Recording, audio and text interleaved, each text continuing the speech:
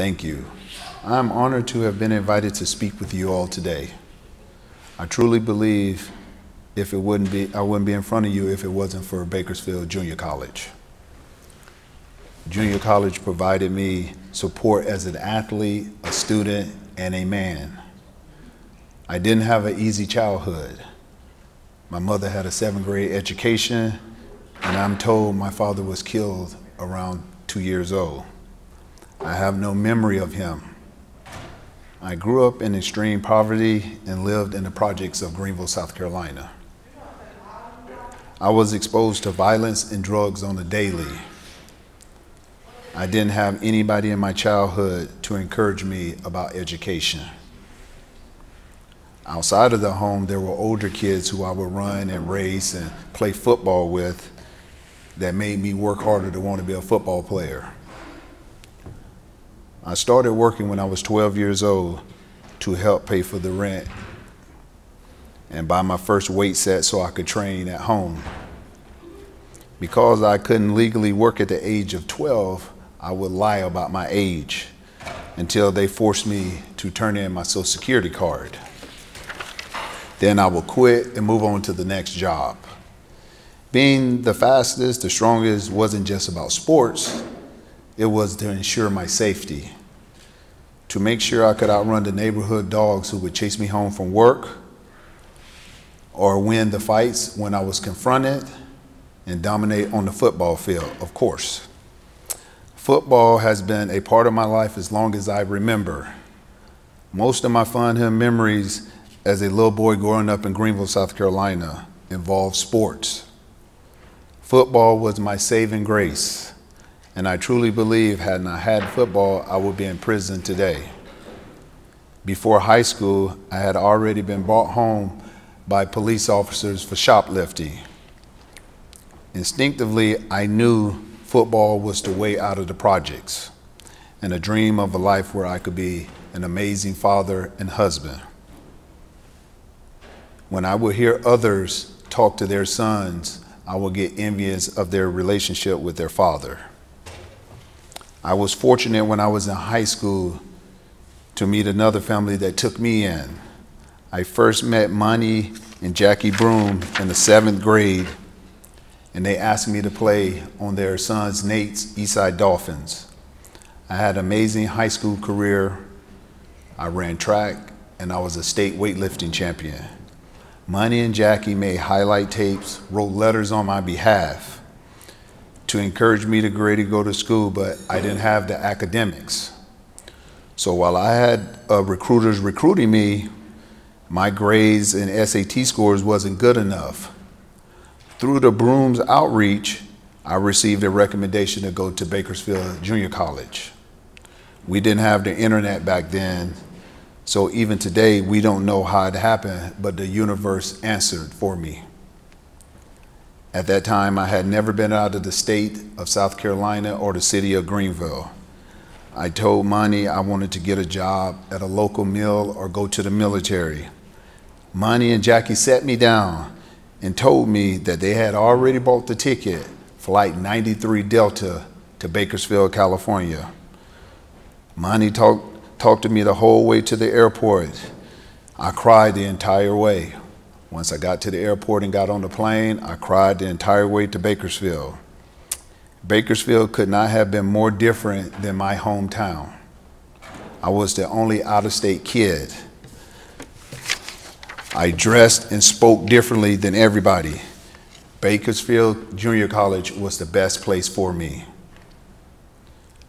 JUCO knows how to build communities. The coaching administration staff became my family.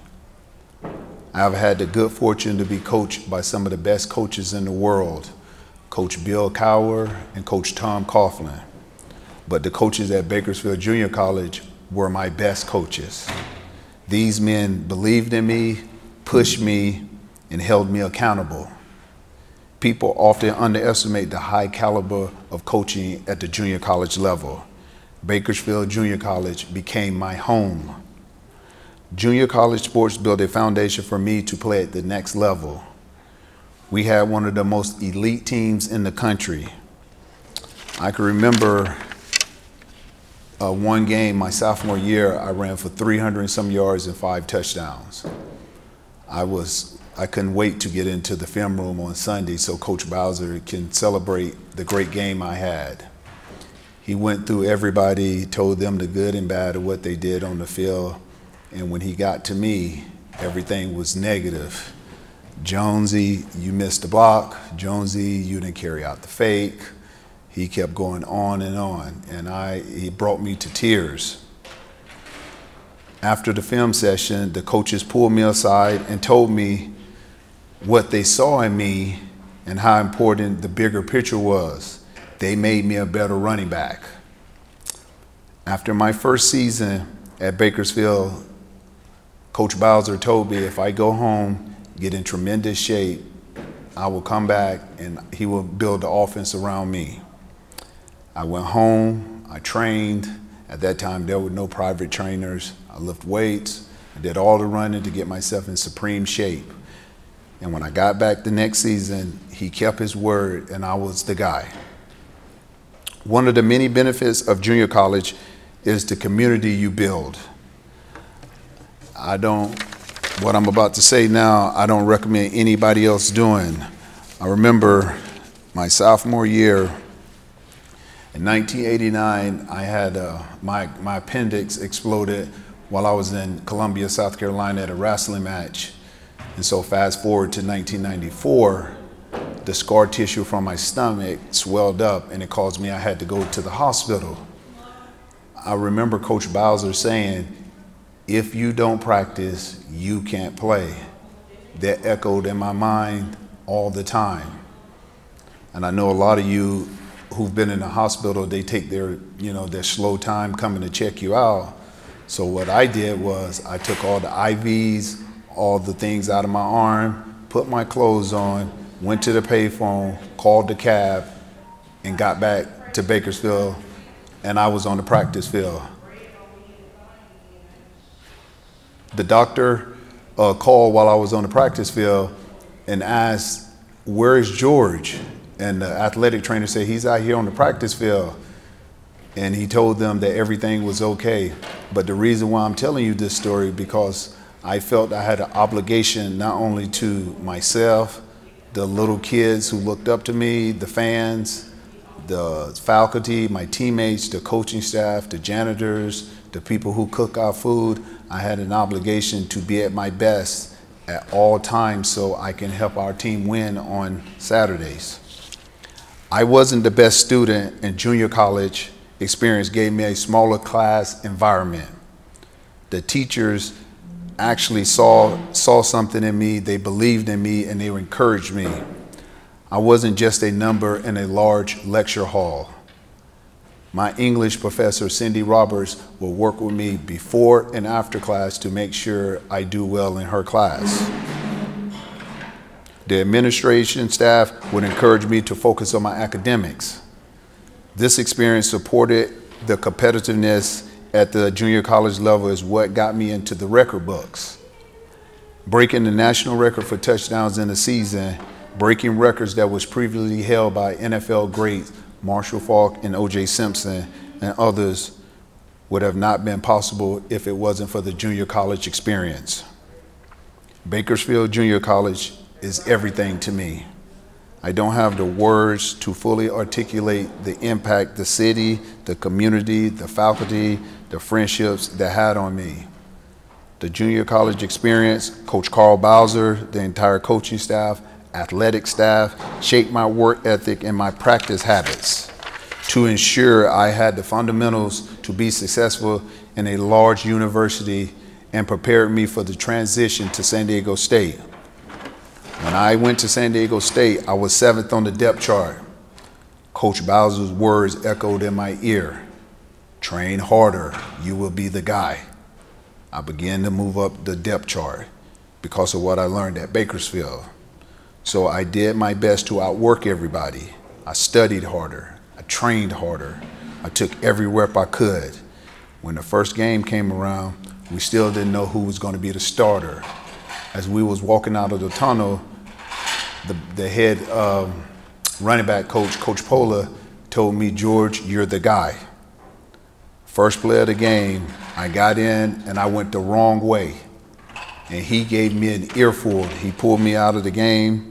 I was worried I had lost my chance. But they gave me another chance, and the rest is history. Discipline, perseverance, faith. Junior college taught me that and it carried me into the NFL. The foundation was set at Bakersfield Junior College. My wife, Katie, who is also a junior college, went to San Joaquin Delta Community College in Northern California. Katie was a great high school student. She, she grew up in a middle class home with both parents. She was the top of her class in grades. When people say to me that junior college is for poor and people with bad grades, I dispel that because my wife is living proof of that. For my wife, it was the smarter decision for her. She was able to take her general education classes at an affordable rate while she worked part time. She would tell you it allowed her to graduate in four years, while her friends who went to a four year school right out of high school graduated in five years and also had more student debt. Today, my wife is the CEO of the national nonprofit National Domestic Violence Hotline.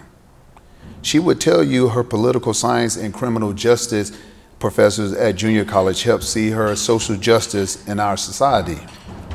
Growing up in a small town, they exposed her to different schools of thought and this fueled her to pursue a career in social services.